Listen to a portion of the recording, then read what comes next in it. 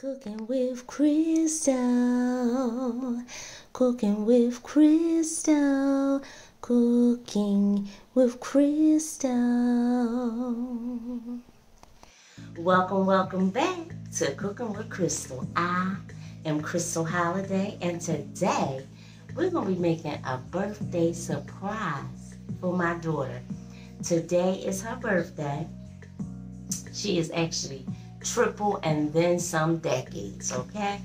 And I'm going to be making her some oxtails. This is the first time that I'm making oxtails. I have tasted them before, and as long as they are tender and falling off the bone, and of course seasoned well, they usually come out really good, and I think I can do it.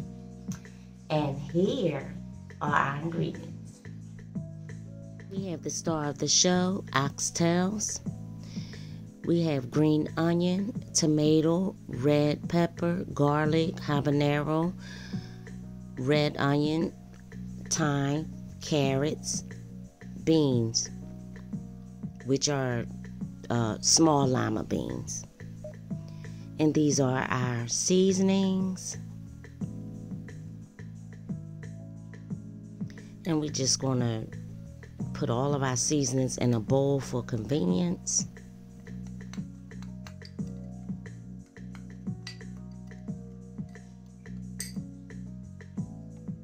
And I'm just going to season the oxtails very well, massage that seasoning in. And I'm going to put these in the refrigerator about three or four hours. It'd be nice if it could sit overnight, but I don't have that time. And I'm going to put a little bit of jerk seasoning on it as well.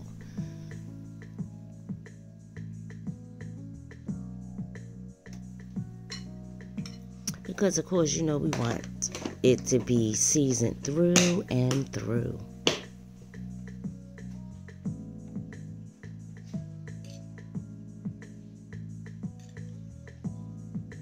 Now, this was recommended by Let's Make It Happen. He said that this seasoning, this green seasoning, was delicious. So that's why I'm trying it. And I did taste it. It is good. It's real good. And I'm putting the browning on the oxtails as well. And we're just going to get all that seasoning right on in. And I'm going to put my gloves on so that I can massage the seasonings in with my hands because it's not getting it with these tongues. Here we go. Let's massage, massage, massage. And once we massage this seasoning in very well, we're going to put these in the refrigerator for three to four hours so that they can just get all that flavor all the way down to the bone. This is how it will look. We're going to put this in the refrigerator three to four hours, and we're going to start on our spicy salsa. I'm doing it separate because I do have people in the family that do not like spice. And here are all our ingredients. We have our ginger, our habanero pepper, our red peppers, all the goodness, along with some soy sauce. And we're going to crunch up our pimentos right in our little dish here. And this really makes it taste so good all of these ingredients. I wish I could make my oxtails spicy, but I can't. But I can have some spice on mine.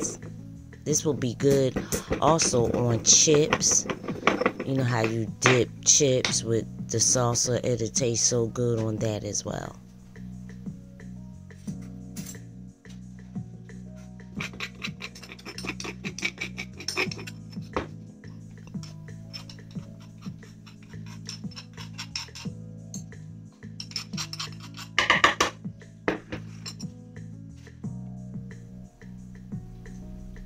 We're gonna put a little water on in.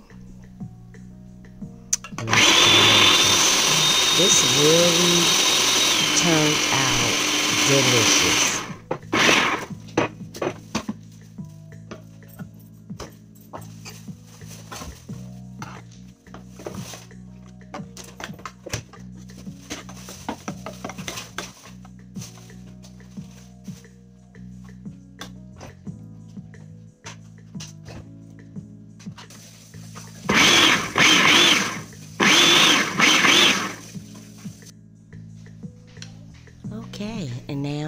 Oxtails have sat in the refrigerator to get all of the flavor through and through to the bone. And let's fry these babies up. And we want to make sure that it's a nice crunch on both sides, a nice browning on both sides. This will produce flavor when you put it in the slow cooker or pressure cooker.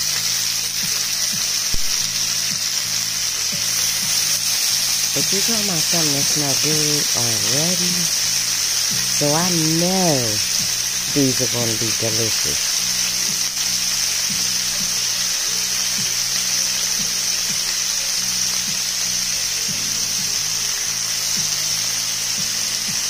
basically take your time cooking it because this is where your flavor begins for the oxtail. That's if you are pressure cooking. But if you have time to just cook it without the pressure cooker, that will be great.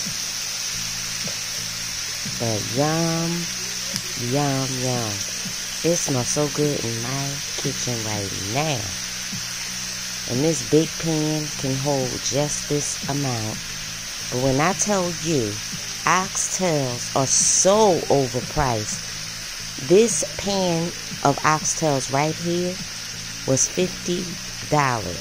So you know I love my daughter. Because I was like, I cannot believe the price on these oxtails.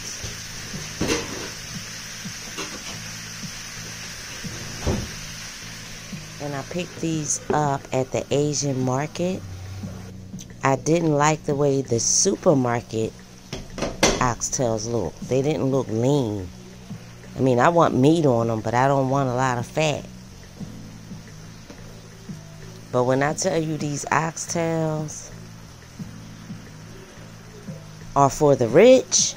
That's exactly what I mean. They're for the rich. They cost as much as seafood, as much as Alaskan king crab legs.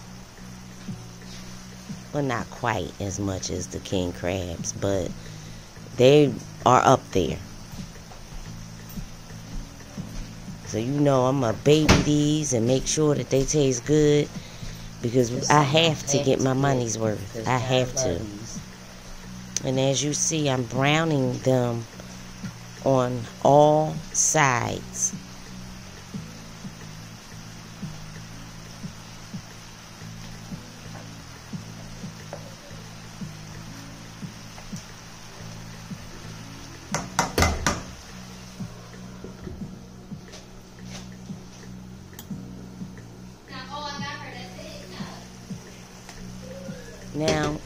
Notice, all of that juice is your flavor. It's going to be flavor. Now, I'm adding more flavor by putting the red onions in.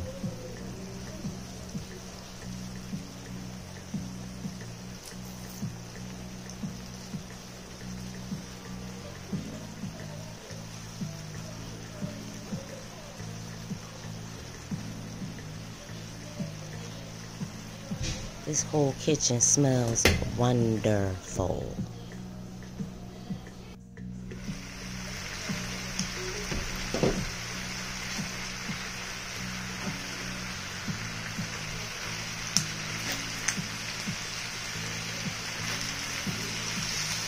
And anything that sticks on the bottom, That's a plus. We're going to scrape it all and put it in our pressure cooker.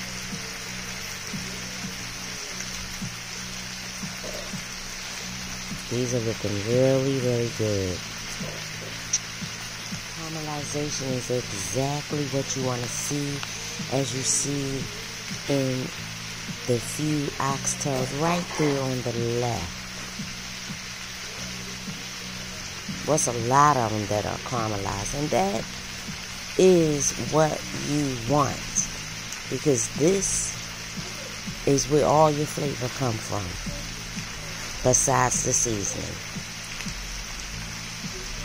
This is looking delicious.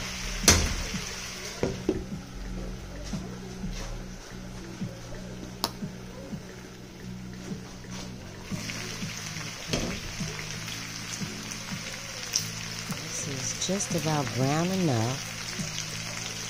But you want to keep flipping them because you don't want them to burn. They looking so good. Now look at that. You see me scraping some of that on the bottom. You definitely want that scrapage in your pressure cooker.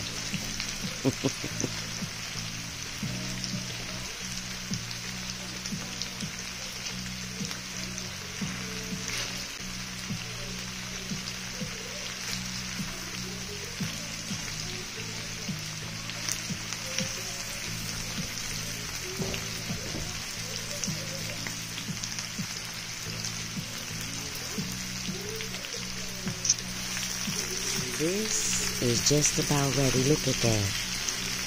Look at that. It's exactly what you want to see.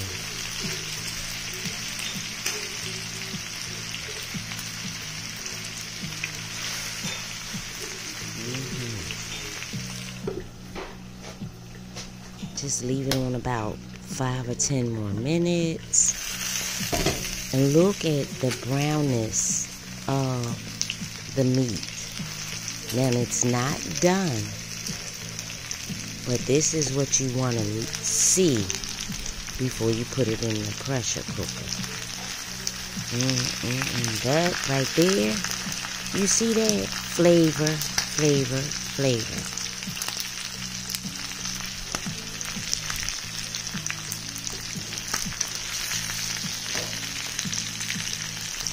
Mmm.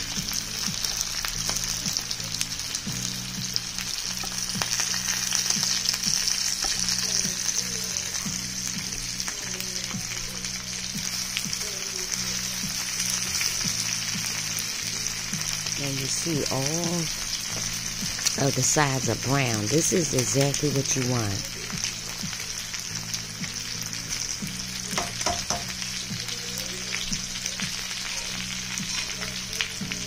And that juice in, in that bottom is going to have your oxtails tasting delicious. Delicious.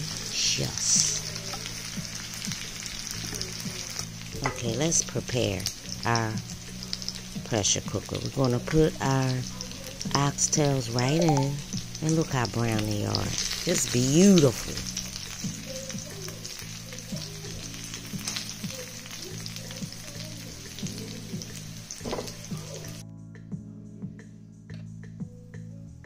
Let's put our seasoning in. Because you definitely do want to season it again because you're going to be putting some vegetable stock in. That's what I used, some vegetable stock.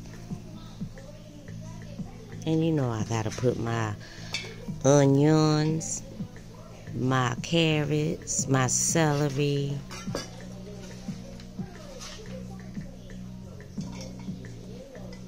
My garlic, mm-mm-mm.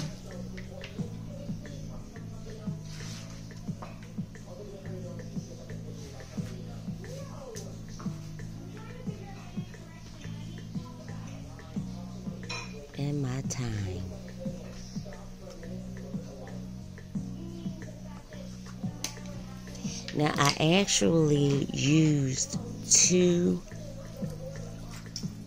containers of vegetable stock. because when I used one container, it completely cooked out. So you definitely need two containers of vegetable stock or beef stock, whatever stock you like. I tend to like the vegetable stock. We're going to put our beans in. But you definitely need two containers of the vegetable stock because you do want it to come over. And look at the birthday girl.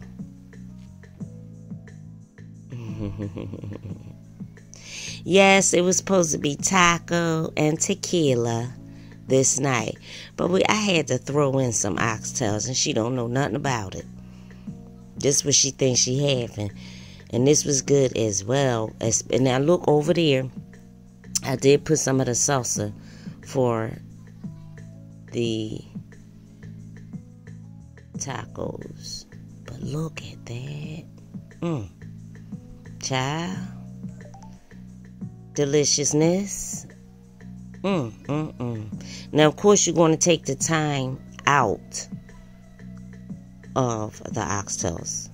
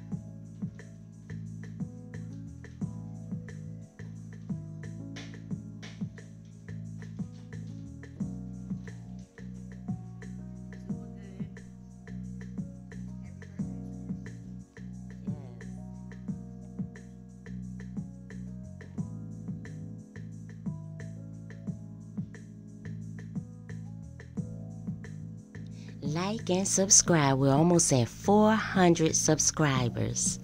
Thank you so much for watching. Be blessed.